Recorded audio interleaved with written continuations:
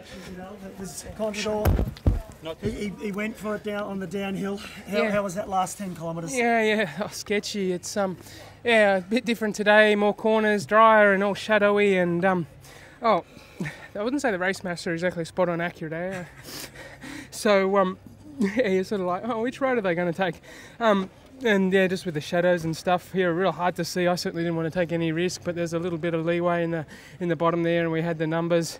Uh, Voeckler ran off the road twice, I think, in front of me, and that sort of makes you makes you take a bit more, uh, makes you take things a bit more cautiously, and uh, and yeah, that's all.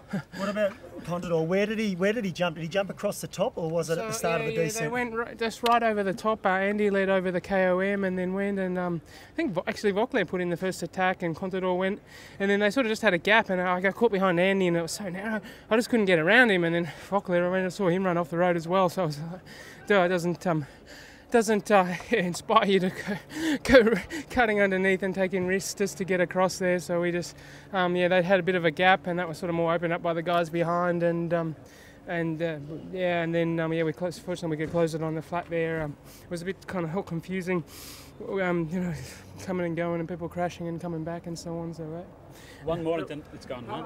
Could- could- Oh yeah, of course. It's um, you know, you don't never want to lose time to anyone. I've got a good advantage over Alberto now, but um, you know, Alberto's shown in years gone by what he can do when he's really at his top top. So uh, it's all um, you know, all, time gained is always um, you know, more time the better. Ultimately, you want to go into the last time trial with about five or ten minutes, and that's you know, then you're set. But but uh, fortunately, we don't think that's going to happen. But anyway, we'll try. Okay, Thank you.